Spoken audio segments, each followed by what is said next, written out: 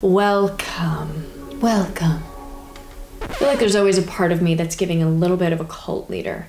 And I'm here to say that I am. Hi, welcome. Today we're going to be talking about the best books that I read so far this year. I read 15 books so far this year, like 14 and a half. We'll get to that later, but I'm calling it 15. I feel good about that. I want to talk about them.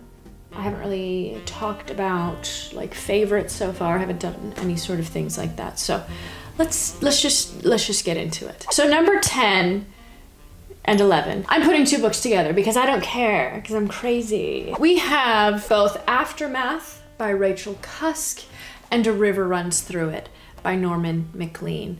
I really couldn't have picked two totally different novels, but you know, somebody's got to do it. Somebody's got to cause a little bit of drama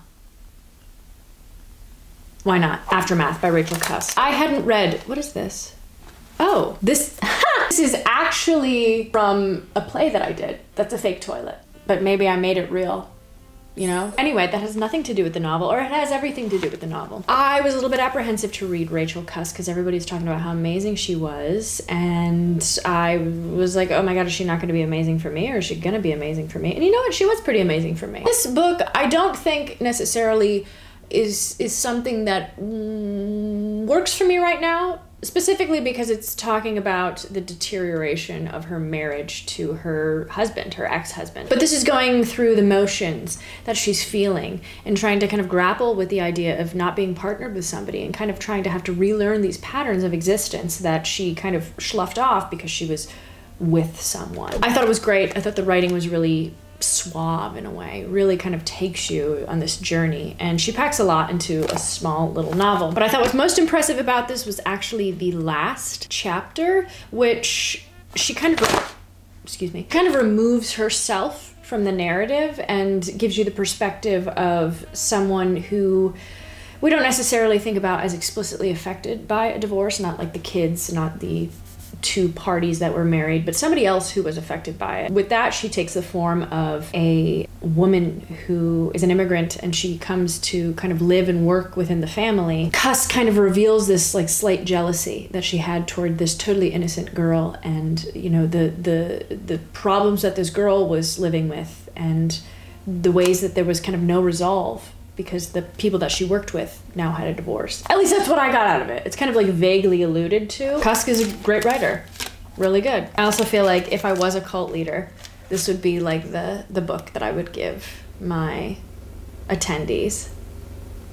Don't you want to join? the next book, or tied for 10, is A River Runs Through It by Norm Maclean. I could have easily made it 9, but I don't want to. Because I don't think that this was like a massive love. I enjoyed the experience with this, but a lot of this wasn't uh, like jumping out at me as amusement. Basically, primarily known for its main story, River Runs Through. It's turned into a movie with the hottie Brad Pitt, and then some other people. That story is all about fly fishing and Maclean's journey to kind of discover his relationship with his brother through fly fishing and the relationship within his family and kind of, you know, understanding who he is and becoming a man in Montana. But I think one of the best stories in this, and I was talking to my father about this book as well because he had read it, is Logging and Pimping, which is about him being a logger and the relationship that you had to have at that time because there was no electronic machinery it was just all by hand. You had to have a relationship with the man that you were working with one person on each side of this massive saw and logging together. He was kind of with this brute of a guy and they eventually kind of softened and became this solid unit together. Book as a whole kind of not for everyone you know wasn't like the best love of my life, but it was a love for a second. Number nine, the official number nine, right? That is the $12 million stuffed shark. I forget the name. This is all about the contemporary art world, and I listened to this on audiobook. And I think the reason that this sticks out to me is because I think we all kind of understand that there's a little bit of a fallacy in place regarding certain contemporary art, artsy fartsy. I love art. I've always been a huge proponent of art. Obviously, the things that I love all fall within that capsule of art. But certain contemporary art figures and um, uh, praises, let's just say, aren't deserved. um, this book, I think, was published in like 2007, so there's definitely needs to be an update, especially with like pricing and talking about astonishing pieces. It's kind of focusing on a lot of artists in like the late 90s, early 2000s, while still focusing on kind of the inception of contemporary art. What I found really, really interesting about this was it was talking so much about how it is kind of manipulated by the galleries and it really is all about branding. All about branding, all about making sure that whoever is buying it in these upper levels of class and wealth, that they're sold the art, but also sold kind of the phenomenon. Yeah, I thought it was really interesting. It did get a little bit boring at the end because there was a lot of repetition. Would like to see an updated version of this. So number eight, The Passion According to G.H. by Stop. The Passion According to G.H. by Clarice Lispector. Clarice, I just want to say one thing to you. We've all been there. We've all seen a roach and smashed it and we went into a downward internal spiral. I understand. The first time I did it in New York City, I felt the same exact way. Oh, I'm sorry, I didn't see you there. I was just going through something. This is a beautifully written novel. Oh my god. You know, you read this and you are immediately thrust into this, you know, tornado, basically this tornado of expression, of doubt, of immersion, and you kind of are spat out, kind of have to reorient yourself because everything's different afterward. Overall, very, very good book. A good book in the sense that it really makes you think. really makes you think, and I'll leave it at that. Ah, okay, so the next book, number seven, right? Number seven Laser Writer 2 this is a book that I got from the library. I totally was in love with the cover of this. I thought it was so unique, and come to find out, the author is a graphic designer. This book is definitely not going to be for everyone. Let me just say that right now. Let me just get it off the table. This is not going to be for everyone, but this is for me. This is 100% for me. I was a Mac nerd growing up. I love Steve Jobs. I read his biography in high school it was so intimate for me this whole boom of technology. I don't know why, but I loved it so much. I was a huge Mac like snob. And this book is all about a small shop that was basically a service center for Apple products and printers and how this cast of characters made it so sweet and such a little kind of like pebble, a little beautiful pebble of what the tech industry was until it became so massive. This behemoth. I I loved this. I loved it. I loved it. You could absolutely read this in a day, and I suggest that you read this in a day because I feel like the momentum and excitement that you have when you first read it might die off by like the third day if you don't just go through it. Loved that. All right, number six, we have Trust by Hernan Diaz. I know a lot of people might be upset that this isn't like top five, my favorite book of all time, everything that I've ever loved and hated, put into one. This was a good book. This was a great book, actually. I read this very, very fast. I completely became immersed in this story. I needed to know what was happening. It almost kind of read like a thriller because you were like, what's, what's, what's the truth about these people? And then I just like didn't love the ending. I didn't love it. I don't want. So that's why it's not higher. Anyway, this is all about the bevels. The bevels. The bevels are like the top 1% of New York society. I thought it was really inventive in the way that it was written. I thought that the characters held so much weight that it just took you through the entire novel. You didn't feel like you were reading a, you know, 400 page novel. I was really, really invested in it. I just wasn't so in love with the ending, but I was so impressed by Diaz's writing. I thought there was a lot of beautiful little morsels of storytelling in this. Totally interested in Diaz as a writer. Enjoyed this. Really enjoyed it. Thought it was good. Five is another library book, so sorry we don't have it here, baby. Sorry. Another Brooklyn.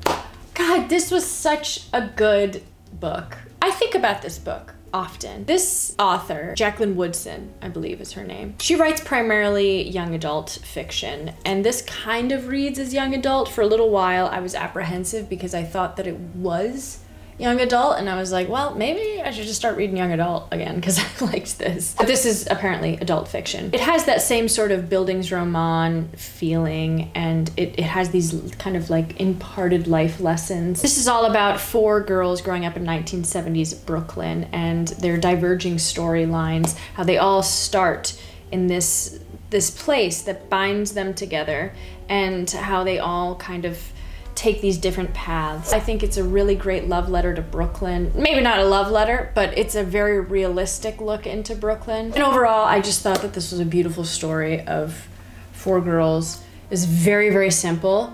And again, I've said this so many times before, but I feel like in a lot of these good stories, you don't need so much to just get your point across and tell the valuable things that you want to tell. I really like this. All right, now we're getting down to the meat of it. We're getting down to the meat of it, baby. What better way to get into the meat of it than to uh, talk about Crash by J.G. Ballard.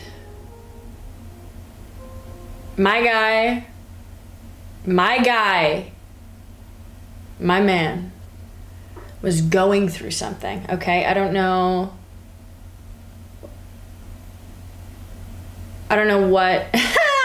Whoa, okay. First of all, J.G. Ballard is bold, courageous, and names the main character J.G. Ballard.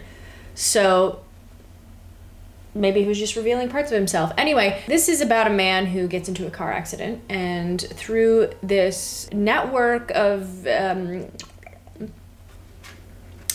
kind of a, uh, uh, I can't even ridiculously sort of like sadistically hedonistic people, he starts to enjoy and, for lack of a better word, get off on car crashes and people who have been involved in that. This was a journey, let me tell you that much. This was a journey, but I do have to understand that there is a part of me that loves this transgressive fiction, as you'll find out. I think if it's done well, it shows you the extent of where a mind can go.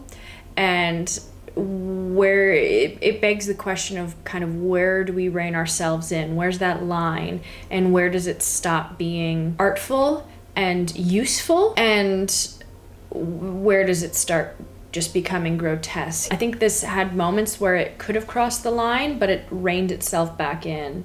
And I think it's a good story. Definitely not for everybody.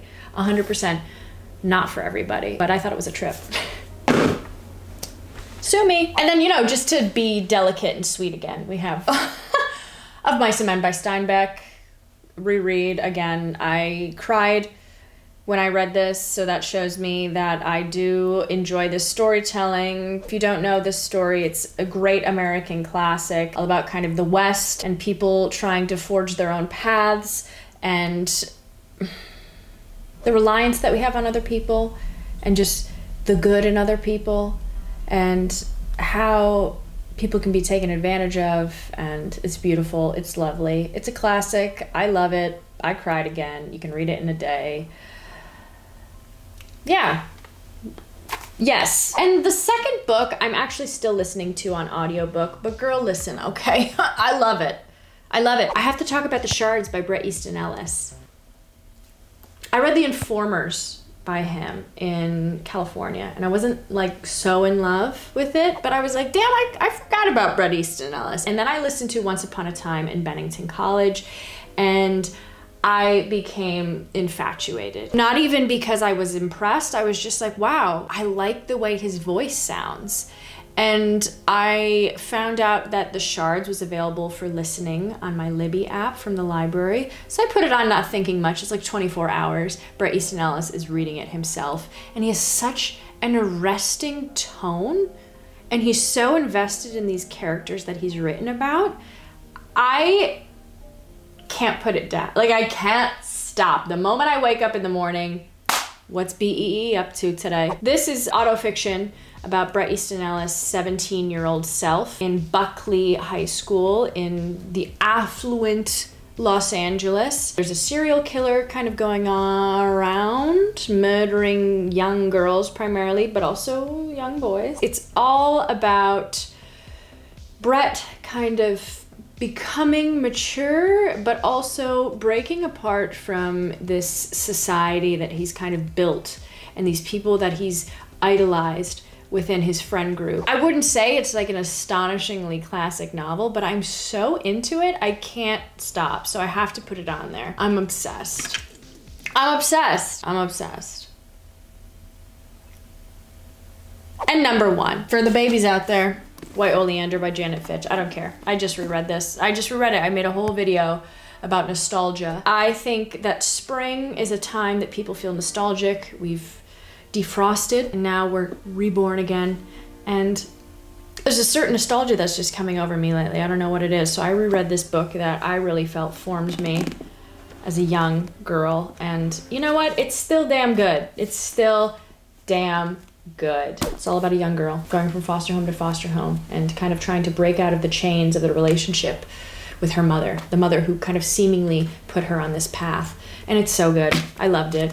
What can I say? I'm sorry. I'm sorry for loving it.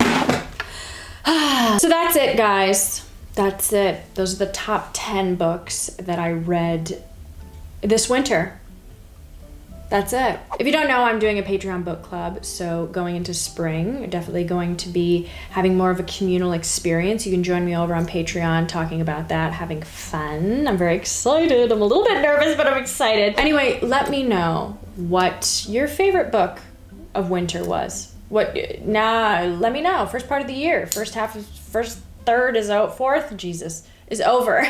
so let me know what your favorite book was so far. Anyway, you guys are wonderful. You're fabulous. Thank you so much for being here. I will see you in the next one.